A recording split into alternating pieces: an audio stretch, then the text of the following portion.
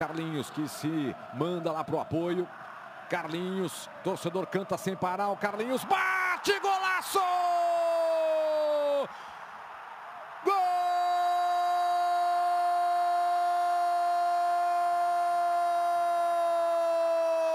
Gol do CSA!